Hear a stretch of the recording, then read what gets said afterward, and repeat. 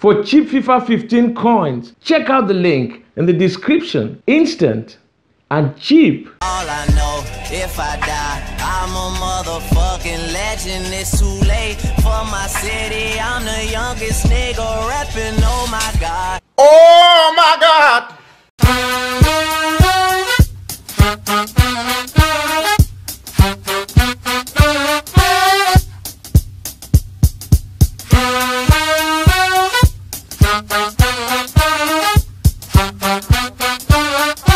Yeah guys, welcome back to a new video. Today, we're going to be looking at new legends that could possibly be coming into future FIFAs.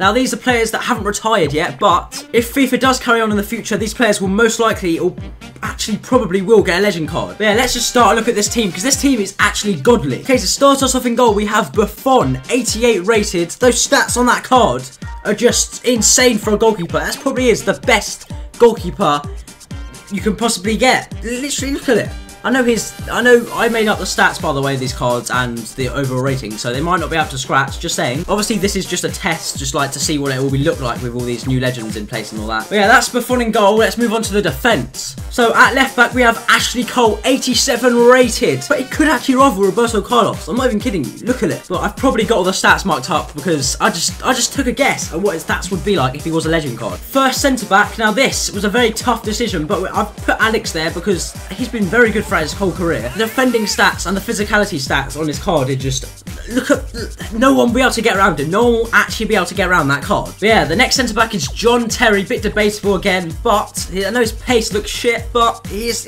another really good player that you probably won't be able to get around. The amount of things he's done for Chelsea, the amount of stuff, I just think he does deserve a legend card when he retires. Even though he is a dickhead and a wife shag up, he will deserve, he definitely deserves a legend. Let's be honest. All right, the right back we have a Barcelona legend, Dani Alves. He's been literally at Barcelona for so long, and he's been with them winning titles and all that random trophy bullshit stuff. But yeah, first midfielder we have Frank Lampard, Chelsea legend. Like he's probably the best Chelsea player that's ever been. The amount of things he's done for Chelsea, the amount of stuff he's done, like apart from scoring against Chelsea in a few seasons ago for Man City, that's all he's probably done bad for Chelsea, to be honest. But yeah, again, the shooting stats, the passing stats, the dribbling, everything apart from pace is amazing. You don't even need pace, the position he's playing, to be honest. All right, first centre mid we have Xavi. You can probably guess the other centre mid from Ch after Xavi, but yeah, Xavi. Right, again, he's another Barcelona player that just Barcelona would not be where they are without Xavi right now. Like, I know you could say Messi is probably the key player, but Xavi and Iniesta are one of the two players that actually set up Messi. But yeah, there's Iniesta's card. I've put in one more than Xavi because I think he's just got that edge over Xavi just because he has better all-round stats than Xavi. Moving on to the cam, we have literally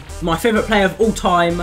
I just think, like, uh, if you don't get inspired by Steven Gerrard, who will you get inspired by? I actually think, like, he's just, like, why wouldn't you want him as a legend card? Imagine him as a legend card. Like, I definitely buy that card. First striker, we have Klose, all-time world record breaker, if that was made any sense. World Cup goal scorer. That just says it all, really. That card, 90 shooting. How will you ever miss a shot with that card? I know it's made up again by myself, but still, that card is just too good. Right, guys, so the final player this team is Henry. Like, oh, and he's another player that I don't even need to mention about. Arsenal legend.